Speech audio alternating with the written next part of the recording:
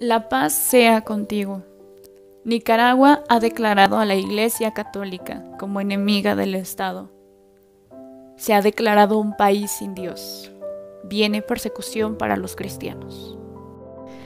Daniel Ortega es un hombre que abiertamente ha hablado sobre el nuevo orden mundial, que ve al cristianismo como un oprobio y apoya al gobierno mundial.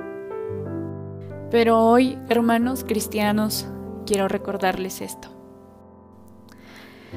Bienaventurados los perseguidos por causa de la justicia, porque de ellos es el reino de los cielos.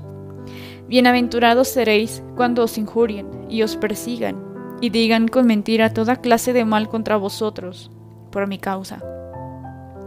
Alegraos y regocijaos, porque vuestra recompensa será grande en los cielos pues de la misma manera persiguieron a los profetas anteriores a vosotros. Palabra del Señor. Gloria a ti, Señor Jesús. Hermano cristiano, hermano católico, hoy vengo a pedirte, en el nombre de Jesucristo, que ores por nosotros, que ores por Nicaragua, que ores por Daniel Ortega para que deje de apoyar al nuevo orden mundial. Hoy te pido que ores por los que son perseguidos. Ciertamente la persecución siempre ha estado, pero muchas veces somos indiferentes.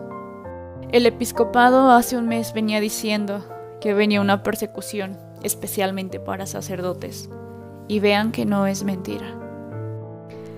Hermanos cristianos, Sé que tenemos diferencias doctrinales, pero como dijo Jesucristo, quien no está contra nosotros, por vosotros está.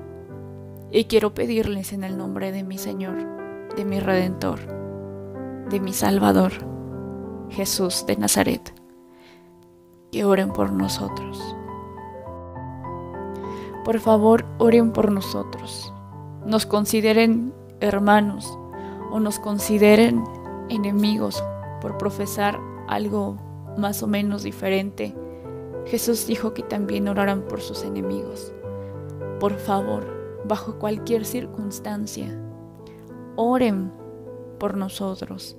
Hermanos católicos, abran los ojos. Existe una guerra espiritual y no es mentira.